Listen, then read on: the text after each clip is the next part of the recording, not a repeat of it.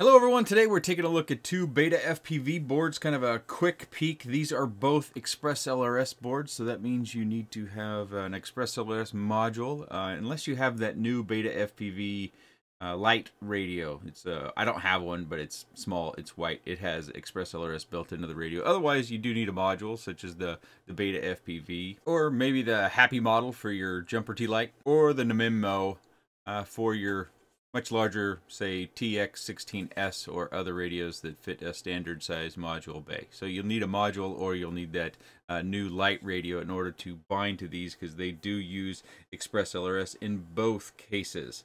Uh, in the case of this one, it is a 5 amp ESC, and you can see that little cube antenna. I think it, it really doesn't translate how small that antenna is. Um, even when you look at some of the small Express LRS receivers, many people uh, commented about how small they are in real life. But uh, we could take a little look at the pads here and everything. Uh, as you can probably tell, there's no other antenna on this, so there's no VTX built into these. You will need to add in your own VTX for both of these boards. And these are also just 1S.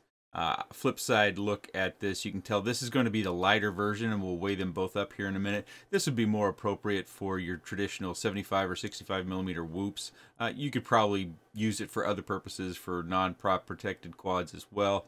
Uh, but this one's probably going to be a bit lighter. If we look at this version, it is the 12 amp version, and it comes with a longer antenna, so you'd be able to get this out of the way. Uh, the premise there is you could, you know, get better range, better antenna placement, uh, that last degree. But when it comes to micros, you know, unless you're wanting to send your micro to the moon, um, even this little cube antenna that's plastic on these would be uh, pretty sufficient. Uh, but the, what's unique about this, outside of the just the obvious layout, uh, having a, a, larger board, probably most appropriate for things like a, an 85 millimeter whoop or a toothpick style ultralight sort of build. Again, 1S 12 amp ESC is this connector right over here, and you can see this just kind of off screen. This is our USB adapter. We plug this in to this connector and that is how uh, we manipulate the board. It does not have a USB port on it, and what do you think about that? So if you lose or damage this, uh, hopefully we can get another one somewhere. I'm not certain why they would do that. I, my suspicion is the weight. They probably say on their webpage some reason why they use this, but uh, maybe instead of using USB-C, we just need to go back to micro USB that has worked for a very long time it's a very uh, convenient and light connector. I would say the convenience factor on this is uh, diminished a little bit. Of course, they both come with the BT20 connector, uh, Beta FPV's connector that they're using for 1S batteries now. Uh, let's take a closer look at the bottom side here. You can see the print, the silk screen on there. Uh, of course, this side you probably wouldn't solder the pads to.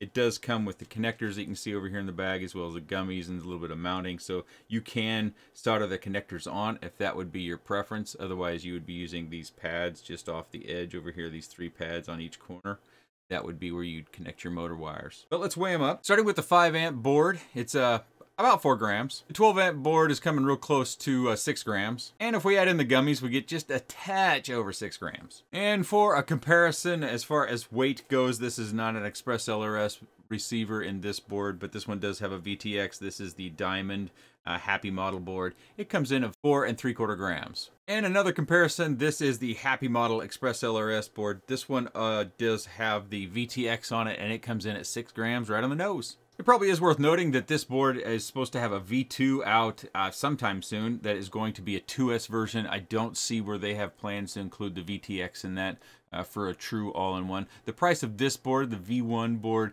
uh, looks to be about $45, whereas the price of this one is coming in at uh, $39.99. So price is real close. Of course, you know, again, depending upon what you're building, uh, you might want one over the other. Of course, I've said many times to several people is I'm going all in with Express LRS. I, especially on whoops and flying inside, I really feel the, well, I shouldn't make it so dramatic. I feel a difference between the 500 um, megahertz packet rate versus stock packet rate using FrSky. I am not an avid user of Redpine. I tried it a year or two ago. I just thought it was more trouble than it was worth to uh, set up, so I haven't really uh, run the Redpine protocol. Um, but ExpressLRS, I am buying all sorts of different kinds of receivers, the really tiny uh, cube style, and adding it to my personal builds. I may still use other receiver protocol um, if a quad comes to the channel that has the receiver already built in, or if it's real easy for me to just plug in one of the uh, pre-wired FrSky RXSR receivers. But otherwise, when it comes to stuff that I'm building or adding my own receiver, pretty much going to be using ExpressLRS from here on out. So just a quick look at these two little boards here. Uh, maybe a few people out there might not be aware that they are available if you have uh, winter builds coming up for a Whoop or you're interested in a long-range toothpick style quad that's maybe running 1S. If you have any comments, questions, suggestions, or otherwise, please let me know in the comments section below. I appreciate your time. And thanks for watching.